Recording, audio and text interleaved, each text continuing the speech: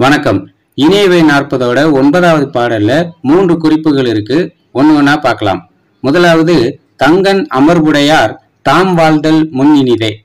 தம்மிடத்தில் நட்புடையார் நலமுடன் வாழ்தல் மிகவும் இனிமையானது அப்படிங்கிறது இதோட பொருள்.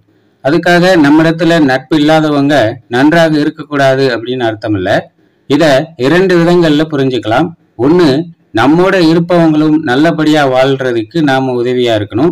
இன்னொன்று நம்மை நம்பி இருக்கிறவங்களுக்கு எந்த தீங்கும் நினைக்கக்கூடாது இதை பற்றி இரண்டு பைபிள் நீதிமொழிகள் சொல்றதை கவனிக்கலாம்.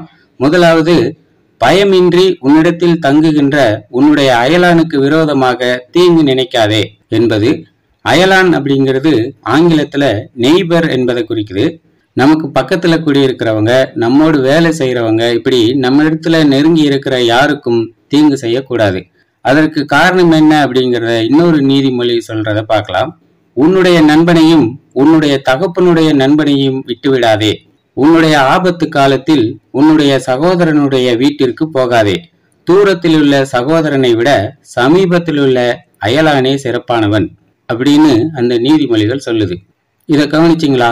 தூரத்தில் உள்ள சகோதரனை விட பக்கத்தில் இருக்கிற அயலானே சிறந்தவன். காரணம் நமக்கு திடீர்னு ஒரு பிரச்சனை ஏற்படுது அல்லது ஒரு அவசர உதவி தேவைப்படுது அப்படின்னா நமக்கு பக்கத்துல இருக்கிற நண்பர்கள் தான் உடனடியா நமக்கு உதவ முடியும். தூரத்துல இருக்கிற உறவினர்களால ஏற்ற வேலையில வந்து உதவ முடியாது. அதனால இந்த பாடல் சொல்வது போல நம்மிடத்தில் நட்புடையவர்கள் நலமுடன் வாழ்தல் இனிமையானது. இரண்டாவது அங்கன் விசும்பின் அகல் நிலா காண்பினிதே. பரந்த வானத்தில் முழு நிலாவை காணுதல் மிகவும் இனிதானது அப்படிங்கிறது இதோட பொருள். முழு நிலவானது பார்க்கறதுக்கு மட்டும் அழகா இல்லாமல் உடலுக்கும் நன்மைகளை தருவதா சில ஆராய்ச்சிகள் சொல்கின்றன.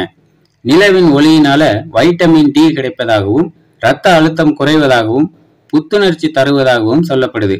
நாமும் நிலவை ரசித்து அதன் இனிமையை காண்போம். மூன்றாவது பங்கம்மில் செய்கையராகி பரிந்து யாருக்கும் அன்புடையர் ஆதல் இனிது. குற்றமில்லாத நடத்தையுடையவராய் யாவருக்கும் இறங்கி அன்புடையராய் இருத்தல் இனிமையானது அப்படிங்கிறது இதோட பொருள். இதுவும் முதல் பொருளை ஒட்டியே வருது. யாருக்கும் தீங்கு செய்யாமல் இரக்கமும் அன்பும் உடையவங்களா இருக்கணும் மனிதர்களுக்கு மட்டுமில்லாமல் மற்ற உயிர்களிடத்தும் அன்பையும் இரக்கத்தையும் காட்டணும். தீங்கு செய்யக்கூடாது. உதாரணத்துக்கு சிலர் விளையாட்டுக்காக நாய்கள் மீது கல்லை எறிஞ்சு காயப்படுத்துறாங்க. கழுத்துல எதையாவது கட்டி விட்டு தொந்தரவு பண்றாங்க. காதுகளில் ஓட்டை போட்டு துன்பப்படுத்துறாங்க. சிலர் வாழை வெட்டி விட்டு கஷ்டப்படுத்துறாங்க. சிலர் வேண்டுமென்றே வாகனங்களை ஏற்றி ஊனப்படுத்துறாங்க.